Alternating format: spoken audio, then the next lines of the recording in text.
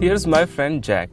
He went to a unique math fair jointly organized by all the schools, in which he participated in a game called Missing Angles. The game consists of a tunnel made up of blocks in the shape of different quadrilaterals. And he had to cross these blocks by giving right values to the angles. And one wrong answer will rule them out of the game. So Jack entered the first block. He saw one question mark. He had to find the angle made by walls at this corner. Jack wrote there 70 degrees. So, what do you think? Did he go to the next block? Or was he out of the game? Confused? Let's have a look. Addition of all the angles of a quadrilateral is always 360 degrees. So, I guess he must go to the next block. He entered the second block and this time two angles are missing. Of the missing angles, one angle was double than that of the other and he had to find both.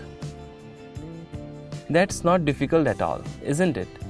Addition of all the angles are 360 degrees for all the types of quadrilateral. Then what must be the value of m?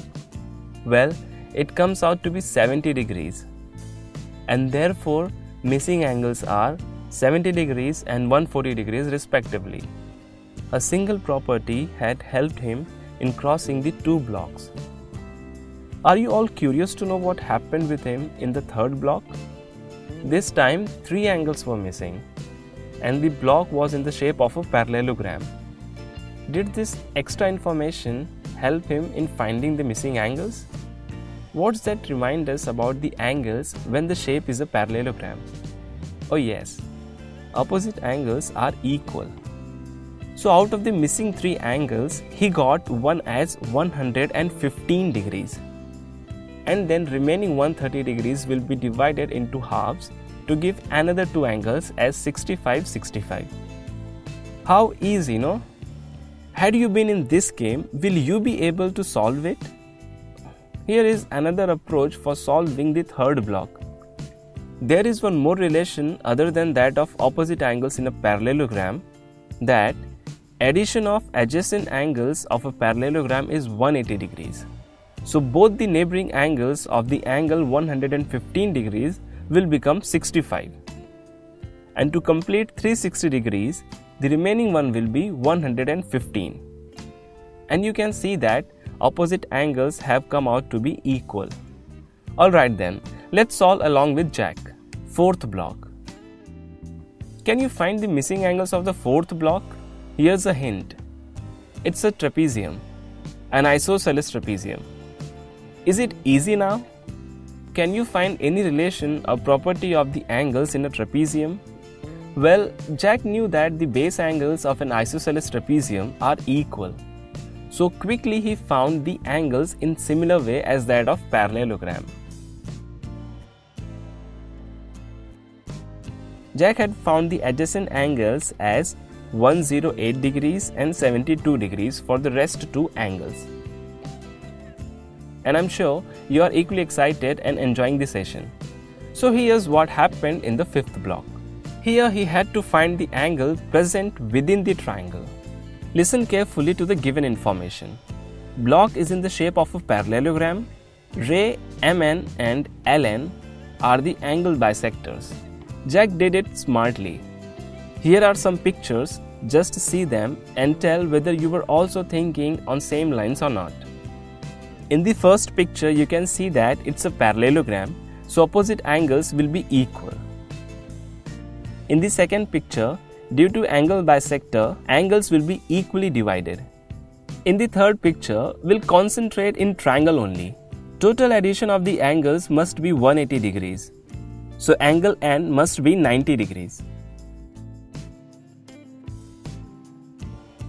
And in this way, Jack found the angle of the triangle. In the last block, Jack had to solve this question. Angles of a quadrilateral are in the ratio 2 is to 3 is to 5 is to 8. Find the angles. Before attempting to this question, let's understand one thing which will not only help you for this question but also the questions asked in the terms of ratio. Generally, if one say that his age is 14 and his brother's age is 21. So what will be the addition of their ages? 35, right? And what would be the ratio of their ages? 2 is to 3, correct? Can I write it like this? By taking 7 as common factor. In the similar way, for the above question, we don't know the common factor, so that the addition must be 360 degrees. This can also be written as and therefore x comes out to be 20. Now 20 is the common factor. So the angles will be 40 degrees, 60, 100 and 160 degrees. When you add them up, you will get 360 degrees. All his answers were correct. The questions were not at all difficult but it requires some basic knowledge of the shapes, especially quadrilateral. Even if you take some extra time to solve them, it's fine as long as the answers are correct. Before we wind up, here is a question for you, and I'm sure you can easily answer without even thinking for a while. Find the angles P and Q, where PQRS is a kite. Please write your answer in the comment box if you have any doubt regarding this session or any other session of math, don't hesitate to ask us. Till we meet next time, keep watching, keep learning.